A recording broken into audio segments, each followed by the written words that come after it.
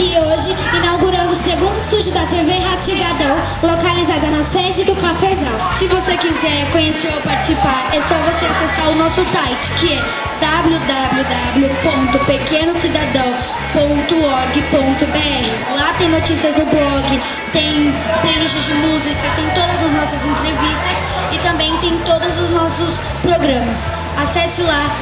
Obrigada. E agora estamos no nosso estúdio.